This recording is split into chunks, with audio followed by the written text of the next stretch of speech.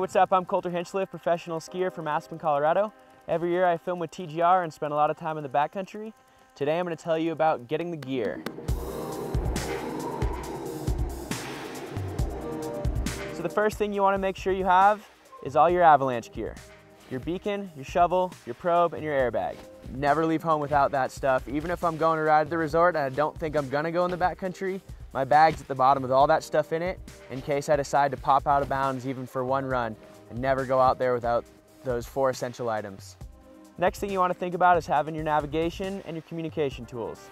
Your radio, a map and a compass, or even your iPhone can work as a way to make sure you're in the right spot and you can get around in the mountains that you're trying to be in all day.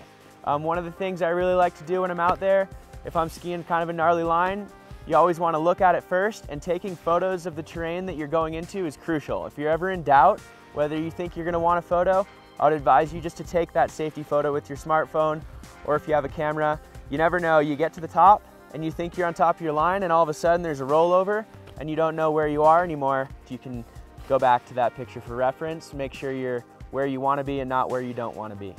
Um, if I get into a scenario where I'm going for a bigger day, I like to make sure that I have extra gear in my bag. I want to have extra water, I want to have extra warm layers, I want to have extra food. Just, you know, in case you end up being out there longer than you think, you can stay comfortable, stay warm, stay safe.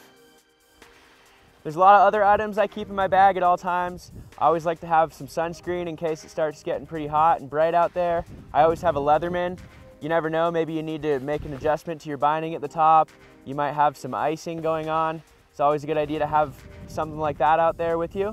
Also, a medical kit, at least one for the group is great. Duct tape is also a great thing to have out there. Just anything that can help get you through a scenario where you have some gear break, you have a small injury, maybe you have a big injury. You just need to make sure you have things with you that can help you get through those kind of problems. Having all the proper gear is an important part to being in the backcountry and having good partners and knowing how to use all that gear is all a very essential piece to having a good day in the backcountry and staying safe. Equally as important is having the proper training.